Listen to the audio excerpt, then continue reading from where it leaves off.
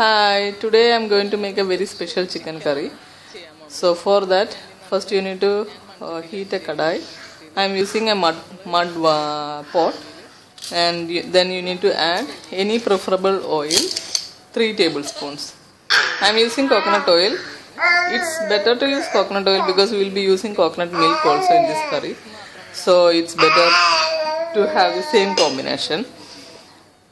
Uh, now we are going to add a little bit big piece of ginger in chopped form and also three pieces of green chili medium spice green chili into this.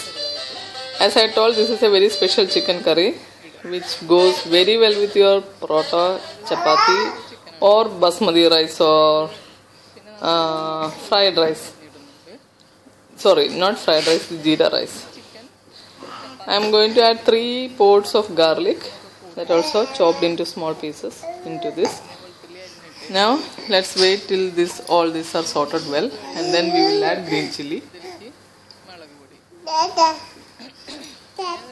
I am adding two teaspoon of green chi- uh, sorry red chili red chili powder and then one teaspoon of turmeric powder into this. It's a little bit tangy and little bit sweet chicken curry, so it goes really well with roti, chapati, paratha, and also goes very well with basmati rice or jeera rice. Okay, so this is sorted. Now you need to add a piece of lemon. You need to squeeze a piece of lemon into it. I have taken a slice of lemon. If you are using lime, use half piece of lime lemon. Take a wedge of lemon that's it. And now we need to add honey into this. Honey i am taking one scoop full tablespoon of honey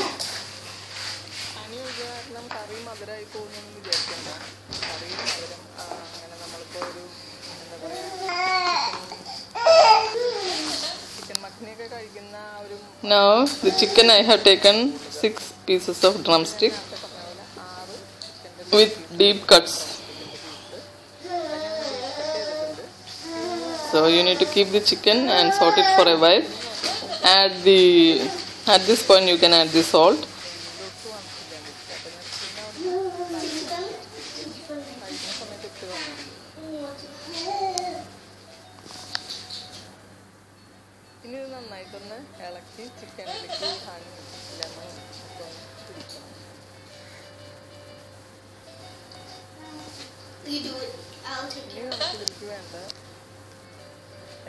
Okay, so after sorting for a while, we need to add orange. So, orange juice. I'm taking three pods of orange and squeezing the juice out of it into the curry like this.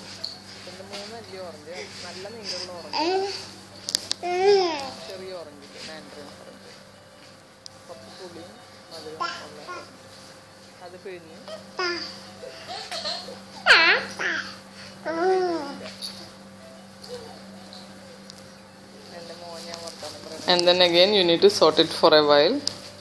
The chicken should be a little bit sorted in the orange juice and then you need to add the coconut milk. So I have taken like a uh, less than a quarter of uh, grated coconut.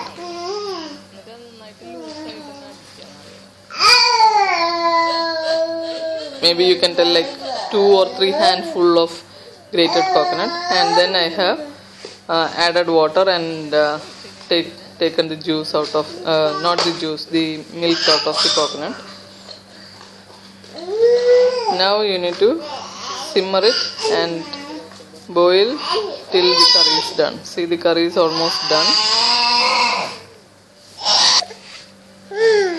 You can see the chicken will be very soft also when you are making curry like this. Now for sorting i am just adjust, adjusting the salt uh, and now for this uh, for the garnishing i am sorting.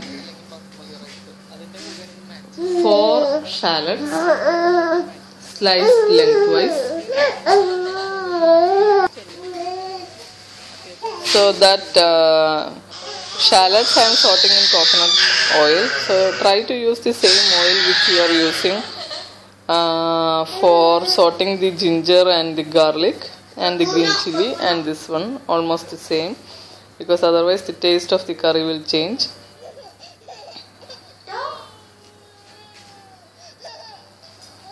So now the shallots are sorted. Now we can pour it into the curry and also use little bit of coriander leaves for garnishing the curry. So that's it. The curry is ready it's super tasty and it has a very different taste compared to the usual chicken curries. And it goes really well with uh, chapati and paratha and roti and also basmati rice. Do give it a try. I'm sure you will like it. Thank you so much. Please do subscribe